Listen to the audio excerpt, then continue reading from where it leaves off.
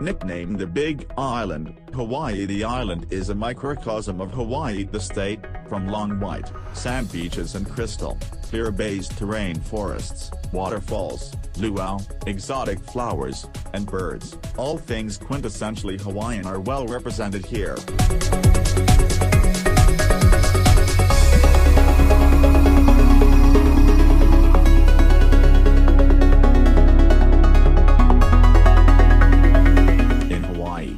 Big Island is like the sometimes awkward older sibling. Forgotten in favor of adorable little brothers and sisters, her attributes are often glossed over.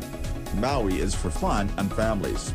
Oahu attracts surfers, partiers and outdoor adventurers. Kauai is for romance and luxury. And the Big Island is just, big. Majestic is more accurate. Geographically unique, the Big Island boasts everything from black sand beaches to snow-covered peaks, from hardened lava deserts to steamy and lush rainforests. And it's still growing. The Big Island's trump card, the active, fire-spitting Kilauea volcano, has been increasing the island's landmass since 1983. It's true that if you arrived here hoping for a stereotypical Hawaiian getaway that's full of tiki, luau's and a honeymoon-esque atmosphere, you've probably missed the mark. But the hiking trails and state parks that are here hold sights that no other Hawaiian island can boast of. And the beaches are colors you've probably never seen.